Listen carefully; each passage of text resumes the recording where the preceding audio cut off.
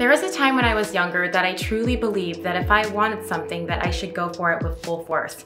And although this was true for me in the business world and with school, it would get me into troubling situations in my relationship world. I thought if I liked a guy, then I should be forthright and show him, ask for his number, text him first, shower him with gifts, sweet messages, pay for dinner, the whole nine yards. And of course, after a man has courted you and shown you solid efforts through his actions that he's taking the relationship seriously, then go ahead and do all those beautiful doting things. But if he hasn't showed you through his actions, and I don't mean his words, I mean his actions, then why give him all of your attention? Why show him how far you're willing to go to please him when he hasn't chosen you? Hello, my name is Dr. Nicole Lunan and I'm the CEO and co-founder of MoodMe, a new app that allows you to share over 400 and plus moods, emotions, and desires with your lover, thus making communication simple, fun, and super easy. So there was a time when I believed in chasing a man, but this was before I understood the dynamics between the masculine and the feminine and realized that the masculine is hardwired differently than the feminine. If we bring it back to the time where we lived in tribes and we had to survive off the land, men were the hunters. It was their job to hunt food and bring it back to the families as offerings. This hunting biological instinct has not gone anywhere. Masculine energy is most satisfied when they are working to achieving something. These days, achievements might not look like slaying an ox and bringing it back home, but it could look like making their woman happy, or bringing home enough income to provide for their family.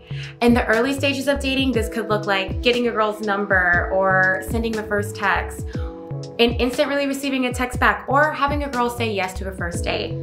This is the modern day form of hunting. This hunting and hero instinct in men is who they are. It's not something that they can hide or deny. They have a deep desire to prove themselves and conquer. For as long as humans have roamed the planet, they've been proving themselves to one another through wars and conquering land. And the same goes for love. Men who are interested in women are always trying to impress a girl as much as they can so that they have a sense that they've achieved something. They work hard to get the nice car, the nice house, enough money to take you on fancy dinners, not to impress other men, but to compete with other men maybe. But what are they all competing for? To catch the attention of a beautiful woman. The issue when we as women are chasing after a man, especially before this man has showed you that he's serious about the relationship through his actions, is that we are making it too easy for him. He won't feel like he needs to impress you anymore. Why would he when you've already handed over your power to him? He won't feel the need to commit to you. Why? Because he's already conquered you. He already has you in the palm of his hand, and so you don't pique his interest anymore. He'll move on to somebody else who will provide him with more of a challenge. As women, our masculine energy works in every other part of our life, like making enough to buy the new car that we want or getting that new promotion. And how amazing are women right now in the workplace and at home? We are killing it. We get things done, we get them done right. We go after it no matter what it is. We have, over time, become hunters for ourselves, and gladly so. Unfortunately, as women, hunting works well for us in every other area but in a relationship with a man. One reason that pursuing a man doesn't work is because that puts us in the masculine role. And where would that leave the guy? What room would that give him for his natural biological instinct to hunt and to achieve? There can't be two cooks in the kitchen. So that would mean that the polarity between masculine and feminine would switch. Therefore, he would then shift into his feminine energy. And that's not typically where men like to exist. And that's not typically where most women like their man to exist. Another reason why women pursuing men fails is because you launch yourself squarely into, here's why you should like me territory. You're very innocently giving your power away and looking for him to validate your worth. This can also give off a vibe of neediness, which is definitely something that will warn men off. Remember, you're not desperate for attention. You are a badass woman. If a man doesn't notice this about you, then it's simple. He's not the man for you.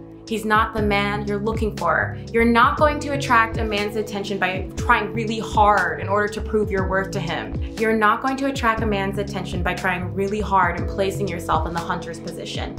You're not going to attract a man's attention by giving more of your energy and effort than he's willing to give you. He will take this for granted because simply put, men who are interested in women like to earn and achieve. Men like to be challenged. They still have this primal instinct within them, and that's why they love the thrill of the chase. If they don't see any purpose in chasing a woman, they simply just won't do it. They want to work for it, to sway a woman. They don't want them handed to them on a silver platter. Men know that they have to work to get what they want. A sense of accomplishment is what they're looking for. And this challenging concept doesn't just apply to men. If you really think about it, everyone wants what's just a little bit out of reach. So then the question is, is how do you make a man chase you? When a man likes a woman, that man takes the form of a bumblebee, and a woman like a flower. Like the flower, a woman is vibrant and beautiful in her own natural energy and will attract the bumblebee to her.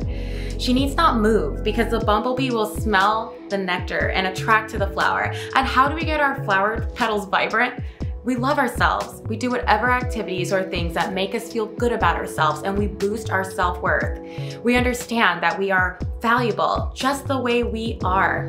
And once our petals have vibrantly blossomed open and we are in full receiving mode, then the right bumblebee will certainly come for your sweet nectar.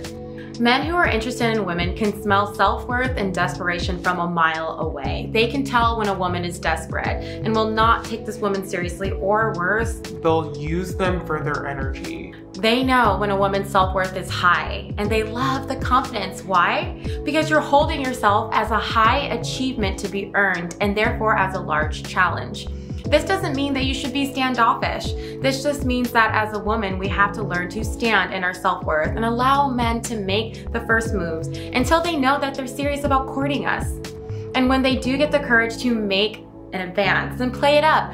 Be flirtatious, be talkative, show him that you're interested. But if he's not calling you, it's because he's not interested. If he's not asking you on dates, it's because he's not interested. This doesn't mean that you should nudge him because if a man really likes you, he will stop at nothing until he has you.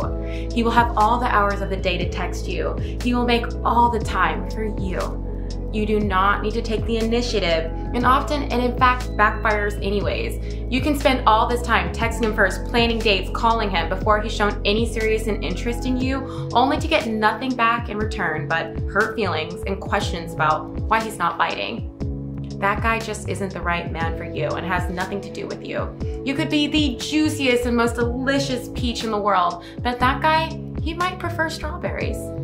Or let's say you're a woman interested in a man and you decide to hunt. You decide to pursue him and step into your masculine energy and take lead. And it actually works. You get the man. But then this man now lives mainly in his feminine energy. And down the line, this makes you really upset. It makes you upset that he doesn't take initiative to plan dates or take you out or to make love. It makes you upset that he doesn't have enough money to provide for you or your family. That's because the man is existing in his receiving mode and not his hunting mode because you have showed him from the very beginning that you're willing to take care of everything, that you're willing to be the hunter. So, are you currently chasing? If you're currently dating a guy that is breadcrumbing you, meaning that he's giving a little attention here and there, but he's not showing much effort, do yourself a favor and pull it back. The worst thing you can do is to try harder because that's just going to push him further away. It's not going to remind him of how worthy you are, rather the opposite that you're not confident in what you have to offer so much that you're willing to chase him. Once you stop chasing him, it will give him a chance to actually miss you and really think about if he likes you or not. It will allow the polarities to reset and place you back into your feminine energy. This will not happen if you continue to send him cute text messages and pictures all the time. Don't check up on him and switch it up. Pull it back.